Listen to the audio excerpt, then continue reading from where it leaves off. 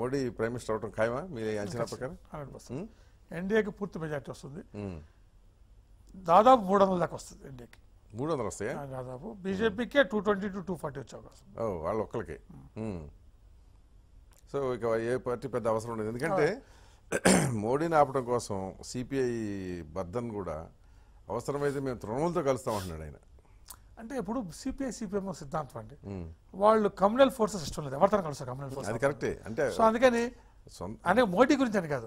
BJP బీజేపీని ఆపడం కోసం మోడీ బీజేపీ అన్నారు అని అని ఉండొచ్చు కానీ బీజేపీ స్థానంలో ఎవరన్నా కూడా ఆ పని చేసేవాళ్ళు. అంటే వాళ్ళ సిద్ధాంతం కమ్యూనిస్ట్కి ఏంటంటే నిజంగా మెచ్చుకోవాలని. వాళ్ళ సిద్ధాంత పరంగా చాలా బలంగా ఉంటారు. గెలిచినా ఓడినా ఓడినా రాకపోయినా. ఇప్పుడు రాఘుల్ గారు చూసుకోండి ఇక్కడ. అసలు ఎంత బలంగా నిలబడతాడు సిద్ధాంతం కోసం? ఏముంది ఏం బలం?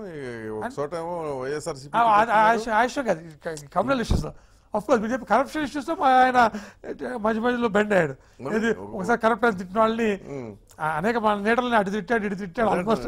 మళ్ళీ వాళ్ళతో కలిసాడు తెలుగుదేశం ఒకప్పుడు అధికారం ఉన్నప్పుడు తిట్టారు మళ్ళీ వాళ్ళతో కేవలం ఒక. ఈ కమ్యూనల్ సిపి- ఇష్యూస్లోనే అంటే ఒక ఇది ఈ లౌకికవాదం మీద మాత్రం బలంగా నిలబడ్డారు. అలాగే సమైక్యవాదం మీద బలంగా నిలబడ్డారు. ఇలా అంటే కొన్ని కొన్ని సిద్ధాంతాలు బలంగా నిలబడ్డారు అఫ్ కోర్స్ మీరు చెప్పినట్టు ఏమవుతుందంటే కరప్షన్ రిలేటివ్ అయిపోయింది. ఈ కరప్షన్ అనేది ఒకటి ఎక్కువ చేస్తున్నాడు, దాంతో ఎవరి పక్క నిలబడాలి కొంచెం కష్టమైన అంశం అండి. అది అసలు ఇష్యూనే కాదనే పరిస్థితి ఉంటే ఎట్లా? అది డేంజర్ కదా? మన దేశానికి మంచిది కదా? అది కరెక్ట్ కాదు. ఇష్యూ కాదంటే మనకు కరెక్ట్ కాదు. ఫర్ ఎగ్జాంపుల్ ఢిల్లీలో చూడండి. ఖచ్చితంగా నిలబడ్డారు అరవింద్ కేజ్రీవాల్ పక్కన. అంత మాత్రం దేశం నిలబడుతుంది కాదు. బట్ ఉన్నారు ఒక సెక్షన్ ఆఫ్ పీపుల్ ఇక్కడ కూడా ఉన్నారు సెక్షన్ ఆఫ్ పీపుల్ అటువంటి వాళ్ళు లైక్ చేసేవాళ్ళు. ఆ- అటువంటి పెరగాలి అనుకో- అటువంటి సెక్షన్ పెరిగితేనే మంచిది దేశం. నేను ఇప్పుడు జనాభిప్రాయానికి భిన్నంగా వెళ్ళినప్పుడు మీ సిద్ధాంతం ఎంత గొప్పదైనా సరే కొట్టుకుపోతారు. అంతే కొట్టుకుపోయిన కొట్టుకుపోయిన నిలబడాలండి. దేశంలో ఇవాళ ఏంటంటే అవినీతి అనేది ప్రధానమైన ఇష్యూ అయింది. ఇది ఈ లౌకికవాదానికి ప్ర- ముప్పు కన్నా కూడా ఇది పెద్దదైంది. ముందు కరెక్ట్ ఇది డేంజరే దీన్ని వదిలేసి లేని తి- ప్రమాదాన్ని ఊహించుకుని ఏదో ప్రమాదం అంటే సిద్ధాంతం కరెక్ట్ నా సిద్ధాంతం కరెక్ట్ అని చెప్పట్లా. కరెక్ట్ అయినా రాంగ్ అయినా నమ్ముకొని నాకు నిలబడ్డారంట. అదే కేజ్రీవాల్ అవినీతి అనే ఇష్యూ లేకపోతే కేజ్రీవాల్కి ఏముంది అసలు బలం? ఏం లేదు. మెయిన్ అదే అతని స్ట్రెంత్ అదే. సింపుల్ కానీ అది ఢిల్లీలో పనిచేసింది కానీ రూరల్లో ఎందుకంటే ఇంకో దగ్గర ఇంకొక ఇష్యూ ఇట్లాగే వస్తుంది అది. సో ఒక్కొక్క దగ్గర పనిచేస్తుందండి. పనిచేసా చెప్పి నిలబడి. లోక్సత్తా జమ్మూ కాశ్మీర్ అన్నాడు. ఆయన గెలవచ్చు గెలవకపోవచ్చు. అంతే. ఆయన నిలబడి సిద్ధాంతం. సో ఇలా ఒక్కొక్కరికి ఒక సిద్ధాంతం ఉంటుంది. సో ఆయన లౌకికవాదం మీద పెద్ద ఆయన ఇష్యూ కాదండి కానీ కరప్షన్ పెద్ద ఇష్యూ ఆయనకి. ఓకే ఫైన్ అలా ఒక్కొక్కరికి ఒకటి ఉంటుంది అదేలే. ఇప్పుడైతే ఈ లెక్కనకి మోదీ ప్రైమ్ మినిస్టర్ అవడం ఖాయం. ఖచ్చితంగా. అంటే అంటే ఫోజ్ బీజేపీ అవడం కాదు అదే బీజేపీ ఎవరిని చేస్తే వాళ్ళ ఇష్టం? అది సరే అది అది వేరే. నేను వచ్చి ఇప్పుడు ఎవరు అదేలే. బీజేపీకి సంఖ్య చెప్పాను. నేను ఓటేసిన బీజేపీకి. అది. అందులో వాళ్ళు బీజేపీ వాళ్ళు బీజేపీ మోడీని ప్రధానమంత్రిగా అభ్యర్థి ప్రకటించారు. ప్రకటించినాక నేను తేడా వస్తుంది అనుకోవట్లేదు. ప్రకటించినాక ఎన్ని పార్టీలు ఏకమైనా కానీ వాళ్ళు ఆపలేరు ఇక. ప్రజలు ఇప్పుడు పార్టీల వల్ల అవుతుంది ప్రజల వల్ల అవుతుంది. అదే ప్రజలే. జనరల్ ఎలక్షన్లో ప్రజలే నిర్ణయిస్తారు కానీ ఇక్కడ ఆంధ్రప్రదేశ్లో బీజేపీ టీడీపీ కూటమికి ఎన్ని రావచ్చు లోక్సభ? బాగానే వస్తాయండి. ఆంధ్ర ఆంధ్రప్రదేశ్ తెలంగాణ. ఆంధ్రప్రదేశ్లో నెంబర్ వన్ వాళ్ళే ఉంటారు. Number one. ఓకే అంటే పదిహేను? అసలు ఇంక ఇంతవరకు ఎందుకంటే ఇంకా ఇంకంటే ట్వెల్త్ దాకా సంఖ్య అదే. ఆంధ్రప్రదేశ్ మనం చూసారు నాకు?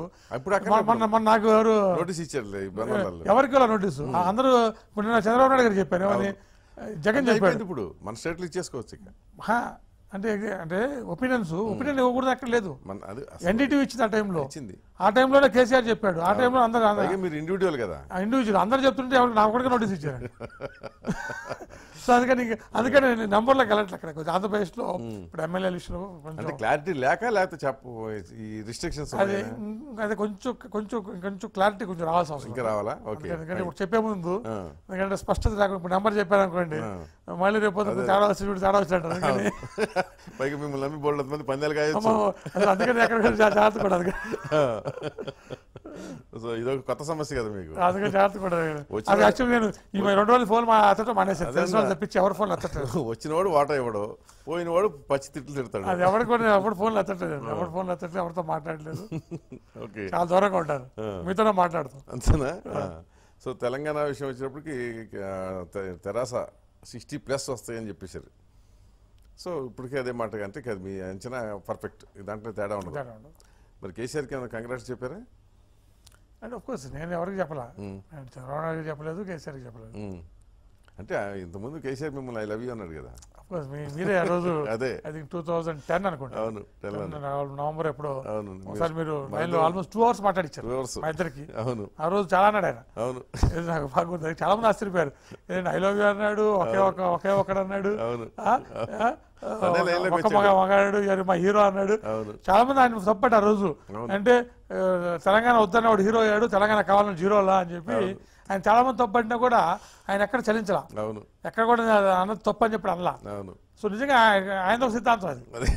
ఇంతమంది ఆయన తప్పడుతున్నా ఆయన ఎక్కడ కూడా లేదు రాజగోపాల్ జీరో కాదు జీరో అని అనలేదు? సో సో ఒక్కొక్కటి ఒక చెప్తా కదా. సో ఆయన ఒక తత్వం నాది ఒక తత్వం. సో డెఫినెట్గా అన్నట్టుగా ఇప్పుడు ఇప్పుడు నేను చెప్పాను అనుకోండి నాకు వస్తుంది. చెప్పాను. ఇంతకాలం కొట్లాడి. బట్ అఫ్ కోర్స్ ఒకటి చెప్పగలను. కేటీఆర్ నాకు ఫోన్ చేశాడు. నేను రాజకీయాలు తప్పుకుంటా అన్నప్పుడు విజయవాడలో ఉంటే. అక్కడ అందరికి చెప్పేసి వెళ్ళిపోతుంటే టీవీలో చూశాడు. అందరికి చెప్పేసి వెళ్ళిపోతాం నానని చెప్పి చెప్తున్నప్పుడు నాకు ఫోన్ చేసి. నా పర్సనల్ రిక్వెస్ట్ చేస్తాను అది విరమించుకో నువ్వు రాజకీయాల్లో పోటీ చేయి. నువ్వు సిద్ధాంతం కోసం పోట్లాడావు. నువ్వేమి వ్యక్తిత్వం కోసం నీ కోసం చేయలేదు కాబట్టి నువ్వు రాజకీయాల్లో ఉండాలని చెప్పి కోరుకున్నా అని చెప్పి ఎవరు అడగలేదు కానీ కేటీఆర్ నాకు నేరుగా ఫోన్ చేసి అడిగాడు. ఆ తర్వాత మీ ఛానల్ అనుకుంటా హరీష్ రావు కూడా ఫోన్లో ఐ థింక్ మీరు మా ఇద్దరికి కొంచెం మా ఇద్దరికి బాగా గ్యాప్ ఉంది. దాన్ని కూడా మీరే అవును. ఆ రోజు కలిపేసి ఇద్దరికి మాట కలిపారు అవును. సో బట్ కేటీఆర్ ఆయనకి ఆయన ఫోన్ చేస్తాను అనమాట. ఫోన్ చేసి రిక్వెస్ట్ చెప్పాను లేదు నేను రిజల్ట్ అనౌన్స్ చేశాక మీరు అసెస్మెంట్ ఇచ్చాక మళ్ళీ కేటీఆర్ ఫోన్ చేయలేదా? థ్యాంక్స్ కొంతమంది టీఆర్ఎస్ వాళ్ళు ఫోన్ చేశారు. చేశారా? మంది- చాలా మంది ఆ. చేశారు సో థ్యాంక్స్ చెప్పారా? మొత్తానికి. టీఆర్ఎస్ వాళ్ళంతా థ్యాంక్స్ చెప్పుంటారు. ఇంక వాళ్ళందరూ హ్యాపీ కదా. అదే హ్యాపీ.